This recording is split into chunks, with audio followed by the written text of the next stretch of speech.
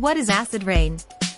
Acid rain is a problem that affects us all, whether it is damaging the family car, defacing historical statues, harming trees in a once beautiful mountainous forest, or destroying the fish population in a lake.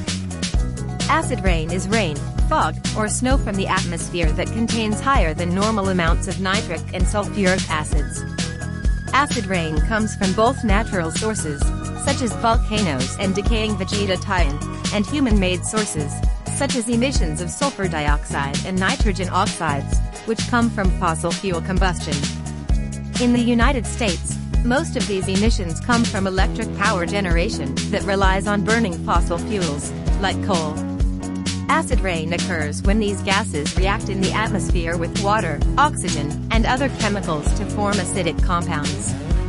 The result is a mild solution of sulfuric acid and nitric acid. When sulfur dioxide and nitrogen oxides are released from power plants and other sources, the wind blows these compounds across state and national borders, sometimes over hundreds of miles.